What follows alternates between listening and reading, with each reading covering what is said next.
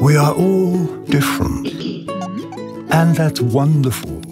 Some differences are easy to see. Height, hairstyle, gender, eye color, and so on. Other differences can't be seen. Our favorite foods, fears, or special skills.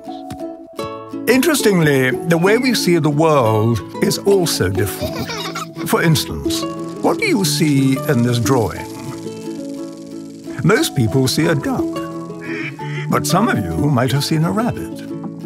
Whichever you saw, you are correct. This is just a trick drawing to show you that all brains work differently. The brain is your body's computer. It works differently for all of us and controls how you learn. That's why we are all good at different things. How you feel, which is why we all feel different emotions. And how you communicate. Sometimes the brain is connected in such a way it affects senses and how we perceive and read situations and interactions.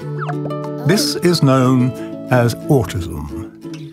Many people have autism, so it's likely you already know someone who is autistic. And for this reason, it's useful to know a little bit about autism. The special wiring inside an autistic brain can sometimes make the person good at tasks we may find difficult, such as mathematics, drawing, or music. It can also do the opposite, and activities we find too easy are incredibly difficult to them, such as making friends. The senses constantly send information to your brain about your surroundings and other people. However, when a person's brain and its senses don't communicate well, the brain can become overwhelmed and confused, affecting how they see the world.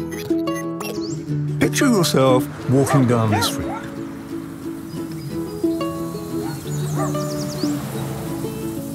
This is how an autistic brain may experience the same walk. Scary, isn't it? Sadly, in many cases, the person can't say out loud how they feel. So even though there's chaos going on in their heads, they seem okay on the outside, unable to ask for help. We all develop behaviors to help us feel calm in uncomfortable situations. We may look away, hug ourselves, chew our fingernails, fidget, bite our lips, and so on. Equally, autistic people develop behaviors that help them cope with these intense moments. These actions may seem unusual, but they're just their way to feel calm. When they happen, it means they are having a hard time.